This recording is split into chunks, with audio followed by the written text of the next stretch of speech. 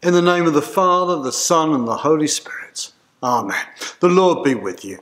Welcome to our video version of worship for this, the eighth Sunday after Trinity. And uh, today we are hearing some of the parables that Jesus tells. We've been working through some of the parables recently, and we're going to hear some more parables today where Jesus challenging us, challenges us in our thinking about the kingdom, about God's rule on earth. First of all, though, we are going to spend a moment in prayer uh, as we seek God's healing and forgiveness and come before God. Let us pray. We come to God, our loving Father, in sorrow for our sins. When we trust in our own strength and opinions rather than the wisdom of God. Lord, have mercy. Lord, have mercy. When we doubt God's love for all humanity without exception, Christ, have mercy. Christ, have mercy. When we fail to work to grow God's kingdom in our community, Lord, have mercy. Lord, have mercy. And may Almighty God, who forgives all who truly repent, have mercy upon you, pardon and deliver you from all your sins, confirm and strengthen you in all goodness, and keep you in life eternal, through Jesus Christ our Lord. Amen. Our prayer for this week. Scandalous God, sowing weeds among the crop raising bread with impure yeast, offering treasure beyond price, casting a net that catches good and bad. Throw down our mean idols of purity and possession, and let the Son of Man show us your inclusive, provocative, wide branching love. Through Jesus Christ. Amen. And now Bethany is going to read to us from Matthew's Gospel. Hear the Gospel of our Lord Jesus Christ according to Matthew. Jesus put before the crowd another parable. The kingdom of heaven is like a mustard seed that someone took and sowed in his field. It is the smallest of all the seeds, but when it has grown, it is the greatest of shrubs and becomes a tree, so that the birds of the air come and make nests in its branches. He told them another parable. The kingdom of heaven is like yeast that a woman took and mixed in with three measures of flour until all of it was leavened. The kingdom of heaven is like a treasure hidden in a field, which someone found and hid. Then in his joy, he goes and sells all that he has and buys that field. Again, the kingdom of heaven is like a merchant in search of fine pearls. On finding one pearl of great value, he went and sold all that he had and brought it. Again, the kingdom of heaven is like a net that was thrown into the sea and caught fish of every kind. When it was full, they drew it ashore sat down and put the good into baskets, but threw out the bad. So it will be at the end of the age. The angels will come out and separate the evil from the righteous and throw them into the furnace of fire, when there will be weeping and gnashing of teeth. Have you understood all this? They answered, Yes. And he said to them, Therefore, every scribe who has been trained for the kingdom of heaven is like the master of a household who brings out of his treasure what is new and what is old. Hidden in the walls of our homes and our churches are electricity cables, and electricity uh, enables us to turn darkness into light at the flick of a switch. It enables us to creates warmth for to heat ourselves or to uh, cook our food. It enables us to power, tools, or devices that give us entertainment or uh, provide services for us. Uh, we know that electricity enables us to do all sorts of things and is a vital uh, resource for us. And nations invest huge amounts of money in uh, in the infrastructure of electricity, in generating electricity in power stations or dams or wind farms, uh, and private companies, of course, also uh, invest money. And of course, uh, we've been really worried of late because of the uh, dependency upon uh, upon Russian resources. We've been investing in renewable replacements for fossil fuels. Electricity is a vital thing. And I wonder if Jesus, if he were doing parables today, might say the kingdom of heaven is like electricity. Today, in the, our gospel reading, Jesus gives us five images of the kingdom of heaven. Whereas first it's worth thinking about what, what a kingdom is. We of course live in the United Kingdom, but our United Kingdom, our king doesn't have the same level of power and authority that a king back in the day would have. Um, our king has a certain amount of pomp and ceremony, but not the power and authority. Um, a kingdom really is an area over which a king reigns, where that king has authority to do things, where that king's word is, uh, is law. The Jewish people, uh, the Israelites, uh, did have a king, and they had a king of their king was supposed to be different.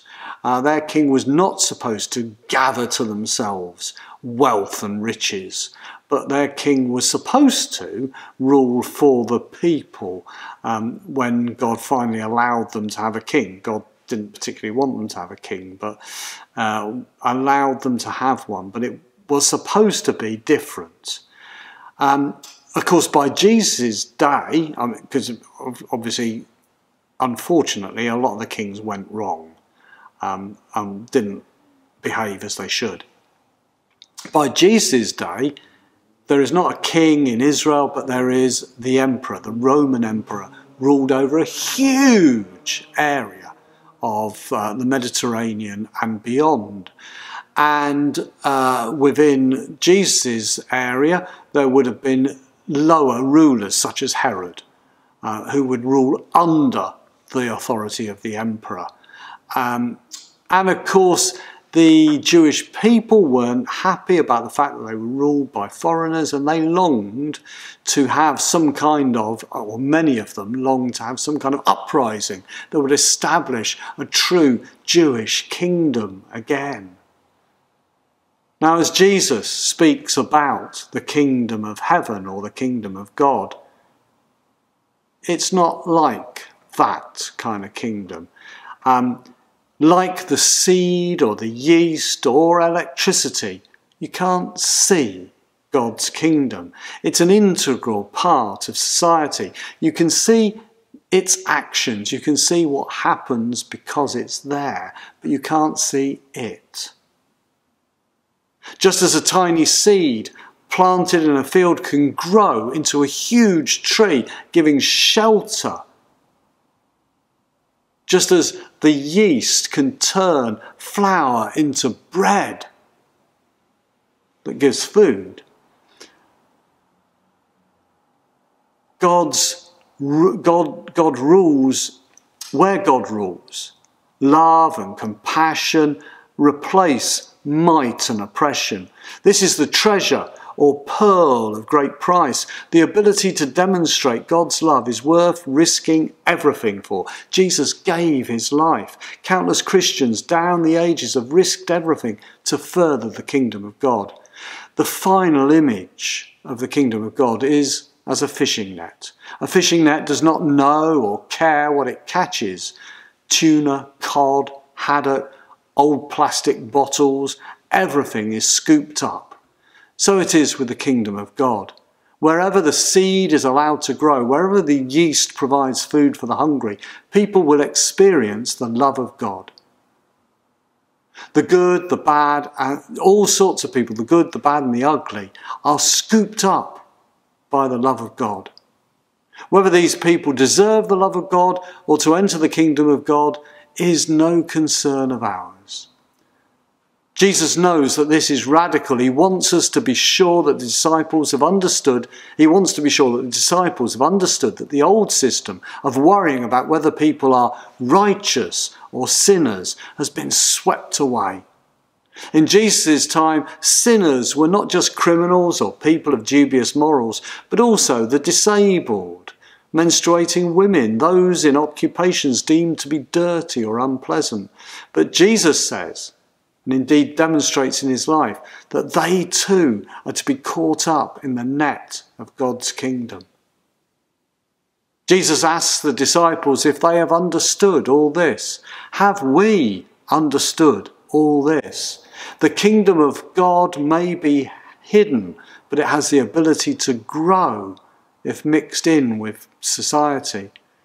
Where is it hidden in our community? Where is God at work around us? Is the kingdom of heaven producing food and shelter for all comers? As far as we're concerned, there is to be no distinction between deserving and undeserving poor people, or between refugees, asylum seekers, economic migrants, and potential terrorists. All should be caught up in the net of God's love all are prepared to do.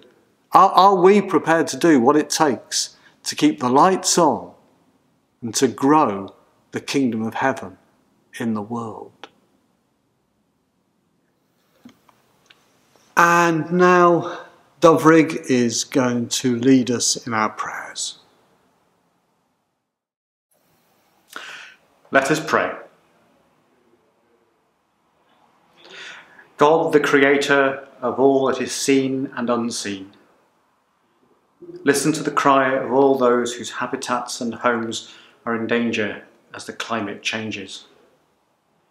Give wisdom and courage to decision makers and deepen our care for the earth you have created. Lord, in your mercy, hear our prayer. God who became incarnate to save us. Open us to the depths of your compassion and the breadth of your love, and lead us to your kingdom. Lord, in your mercy, hear, hear our prayer. God, the life giving Spirit, be present to all those who are in despair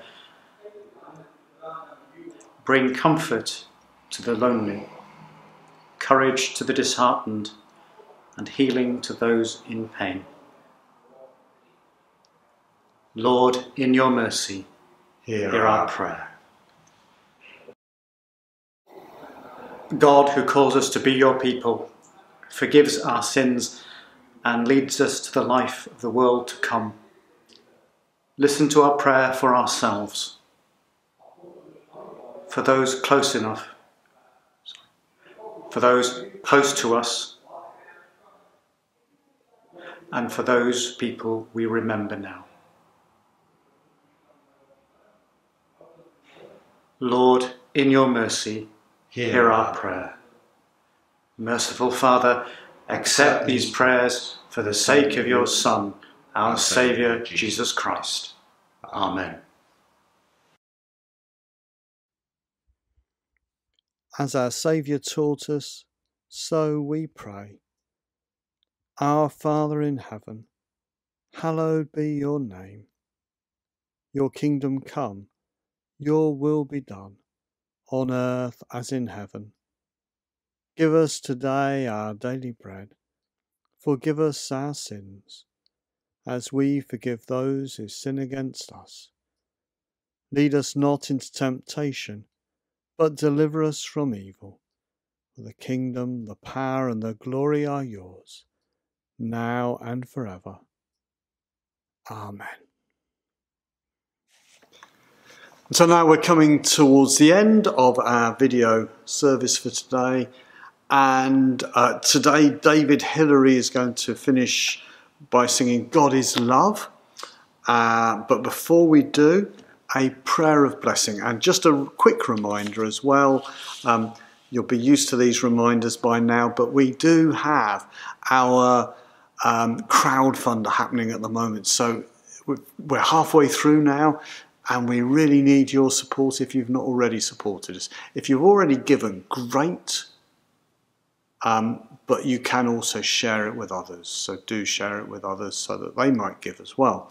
If you've not given yet, you can do both. You can give and you can share with others. Um, that would be great. A prayer of blessing. May you know the love of God the Father, whose kingdom has no end. May you know the love of God the Son, who understands our suffering and paid the ultimate price. May you know the God of lo- the love of God the Holy Spirit, who strengthens us to do God's will on earth. And the blessing of God the Father, the Son, and the Holy Spirit be with you and remain with you, now and always. Amen. Go in peace to love and serve the Lord. In the name of Christ. Amen. God is love, He's the cat tending each everywhere. God is love, what is there? Jesus came to show Him that we all might know Him. Sing aloud, loud, loud, sing aloud, loud, loud. God is God, God is truth, God is beauty, praise Him. None can sing God above, we can share life and love, thus may we God with love seek Him in creation, holding every nation. Sing aloud, loud, loud, sing aloud, loud, loud. God is God, God is truth, God is beauty, praise Him. Jesus lived on the earth, to birth, and affront human birth, for he came to save us by the truth he gave us. Sing aloud, loud, loud, sing aloud, loud, loud. God is good, God is truth, God is beauty, praise him. To the Lord praise we sing, light and life, friend and king, coming down, love to